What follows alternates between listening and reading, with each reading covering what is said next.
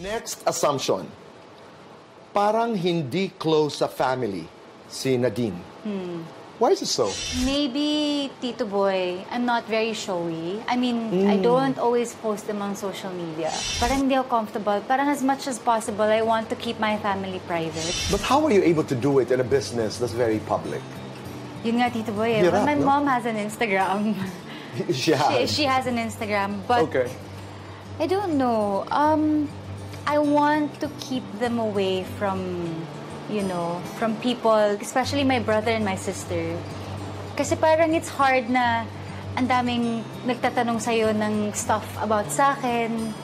Mga ganun. Even my mom. I told her before na burahin niya na lang yung Instagram niya kasi nasa stress siya. If she sees something na, kunyari, issue or pag may nakikita siyang nagbabash sa akin, na, nasa stress siya. My brother has Facebook, but it's for connecting lang to relatives, Yeah, very few. Very few people. But how is your relationship with your family now? I think it's something that's public, now that you're not living with them. yeah.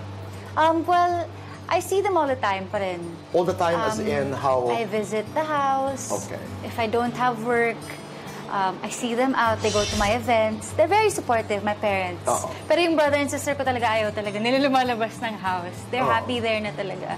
Pero ikaw ba yung klaseng anak o kapatid na pag ang nasasaktan naman kapamilya mo, nangaaway ka? That's, yeah, that's a whole different story, Tito Oo. Boy. Parang hindi ko kayang pigilan yung sarili ko pag sila na yung parang Naagrabyado? Oo, naagrabyado. Or even my friends, or even James, actually.